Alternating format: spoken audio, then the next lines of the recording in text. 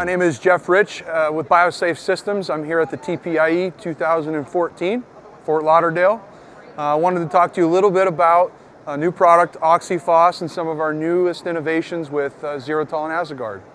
Um, ZeroTol 2.0 for foliar, foliar diseases.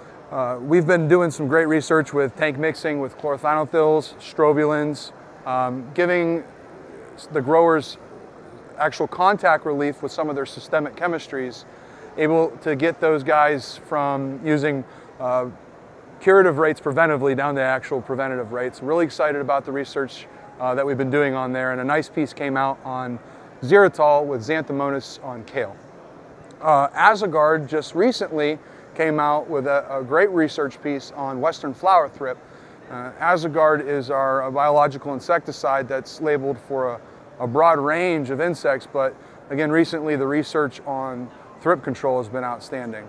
And uh, finally, we came out with a product called OxiPhos.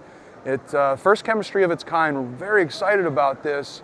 It's actually dual mode of action. It's both systemic and contact. Uh, the systemic is uh, potassium salts of a phosphorous acid.